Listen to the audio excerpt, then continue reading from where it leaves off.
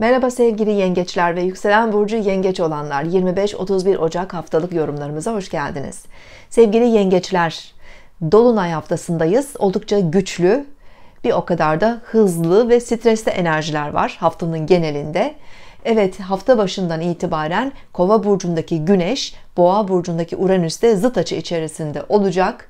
Bu hayatımızın bireysel olduğu kadar özellikle toplumsal alanlarda e, bazı sürpriz haberlerle, sürpriz gelişmelerle bizi yüzleştirebilir. E, hafta başında Ay e, İkizler burcunda haftaya biraz enerjiniz düşük başlayabilirsiniz. Biraz böyle kendi dünyanızda hani kendi kabuğunuzda olabilirsiniz pazartesi günü. Ay da günün genelinde boşlukta olacağı için aslında çok da önemli işlerle ilgilenmemek, belki biraz dinlenmek doğru olabilir.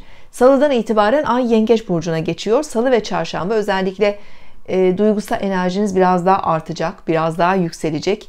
Kendinizi e, özellikle yakın ilişkilerde daha iyi ifade edebilirsiniz. Yaratıcılığınızın da oldukça yükseldiğini görüyoruz.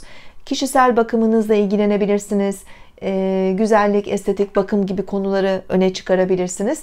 Çarşamba artık e, Perşembe günü Ay Aslan'da olacak ve Perşembe akşamı Aslan burcunun 9 derecesinde dolunay meydana geliyor. Dolunaylar tamamlanma dönemleridir, farkındalık dönemleridir.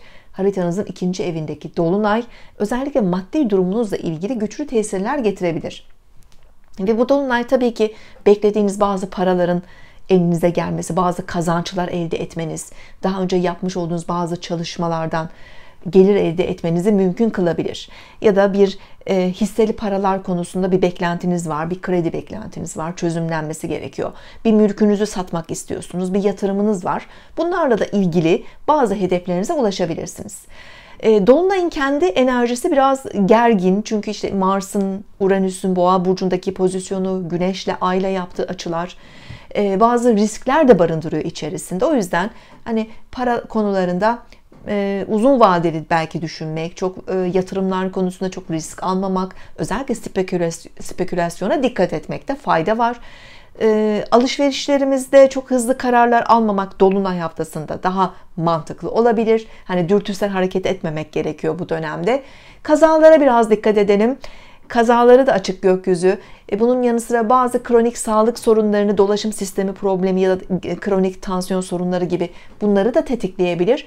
E, mümkün olduğu kadar da fiziksel ve ruhsal sağlığımıza özen göstermek, günlük hayatımızda daha dikkatli, temkinli olmakta fayda var sevgili yengeçler. Sağlıklı ve mutlu bir hafta diliyorum. Hoşçakalın.